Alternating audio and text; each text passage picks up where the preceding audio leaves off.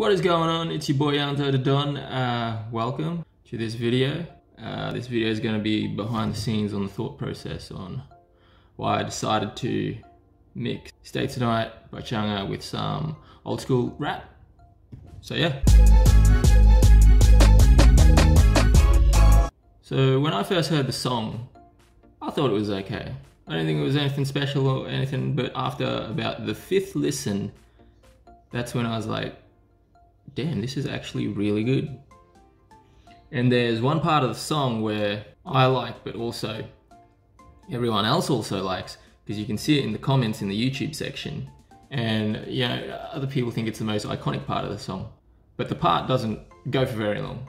I should loop that part. I jokingly told myself to write some lyrics.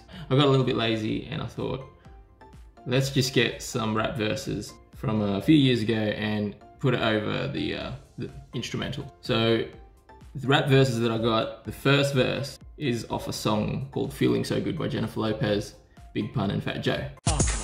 You priceless, you like diamonds and ice and wrist. You got cheddar, I'm twice as rich. Make you bite your lips, you need to know what you like in this. It's one of my favorite songs, and I like the rapping part of that song.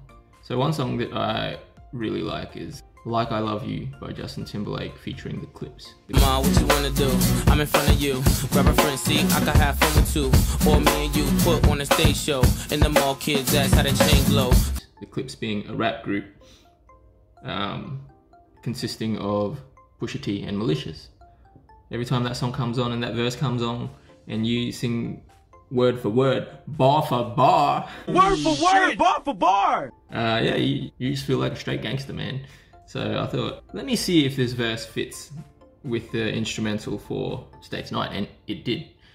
And it sounded good to me, but it wasn't long enough. It only went for a minute, so I needed another rap verse to make the song go a little bit longer. So another song that I like, it's called Feeling So Good by Jennifer Lopez, Big Pun and Fat Joe.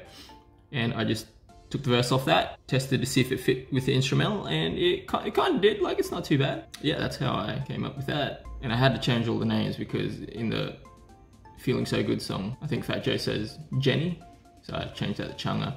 And then uh, at the end of the Like I Love You verse, the original is the name Malicious and I burn every track, Clipse and J Timberlake, now how heavy is that? So I had to change that to Chungha, me and Chungha, whatever it is. And that part actually took me longer than expected to memorize and, you know, not stumble over the words. But eventually I got it, recorded it, and uh, with the recording process, overall recording and mixing the track took about three hours. Uh, the recording only took about 45 minutes, half hour, 45 minutes, but then mixing it took a long time because you just want you want to get it perfect, man. When you record the vocals, that first verse, I think I recorded that at least like seven to nine times because you just want to get it perfect. If you mispronounce a word even slightly, well, I, I, go back and redo it. The Clipse verse, that I did that in like three takes, and then I had to chop the instrumental up. The first mic, like it all fit well, but then there was a part of the instrumental that I liked. I thought maybe I should put it into the song, but it just didn't. It just didn't fit right with the uh, the lyrics. So I took all that out.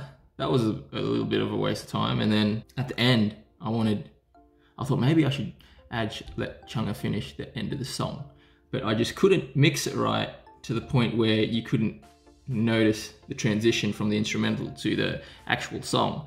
So I had to take that out. And look, you can remix any song, but I want to do something a little bit different, you know? Mix a K-pop song with Western rap and just to see how it would mesh. If it, like if a song is already good, there's no need to remix it. For example, if someone remixed Single Ladies by Beyonce, it would just make it worse because it's already a good song.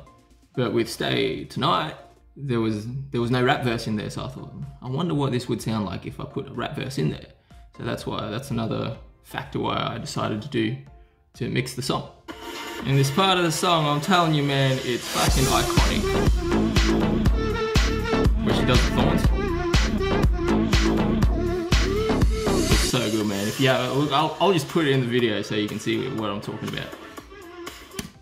Look, see, I, I like music, I like to create, and who knows where that will lead me in the future. You know, maybe, maybe one day Chungha will see this and be and be blown away and slide into my DMs or something and ask, hey, hey Yanni, do you want to do you want to write a verse for my next song? And I'll be like, hell yeah. You know what I mean? And then before you know it, I'm gonna be in fucking Seoul, Korea, just spitting a verse for Chungha. It's getting warm, man. I'm, I'm getting warm. I'm getting passionate. I'm getting warm. And who knows, maybe she'll add me into the choreography and uh, I can't dance, man. But and then she's doing a whole dance choreography for the whole song, and I'm just like, you know, in there somewhere, just just just nodding my head, just bobbing my head or something. I don't even care, man. She don't even got to put me in the damn music video. Maybe she'll teach me how to fucking dance and teach me some choreography. And then next time you're on YouTube or TV or wherever, and you see that so- a song from Chungha or some K-pop idol, and you see that dancer, it's like that dude kind of looks like that guy I went to high school with. And then all of a sudden, I start spitting my rap verse, and then it's holy shit, that's motherfucking Yanni. that's Yanzo. Look, I'll, I'll probably just keep mixing, keep keep writing, keep creating, and who knows, who knows what will happen. Maybe I'll feature on some someone's song that maybe I'll be there. Maybe I'll start instead of rap career to mainstream, and I'm gonna be a K-pop star. Fuck that. also, I almost forgot. Um, once you record all the vocals, you record your backup vocals, which is probably the funnest part because it's all impromptu. You know, there's no.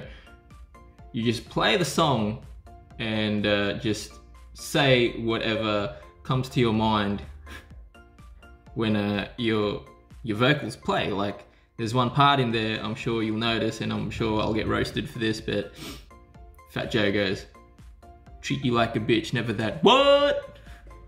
That was that was one of my favorite parts. Whenever that what comes in, you know, I just what, and then um, the second verse by uh, the Clipse, the original verse that the Clipse did. There's no backup vocals. There's no or whatever you call it, the backup vocals or the ad libs or whatever. Um, what does he say? He says, Ma, what you want to do? I'm in front of you. Grab a friend see I can have fun with two. Yeah, I played that, and all of a sudden, I just repeated the last word. So, Ma, what you want to do? Do. I'm in front of you. You. And it sounded good to me, so I just left it in there. And I'd also like to add, I didn't tell no one about this. I don't want to be that person that's uh, always talking about what they're doing or what they're about to do and then never get it done. You know what I mean? I just want to get it done and just be like, surprise, bitch.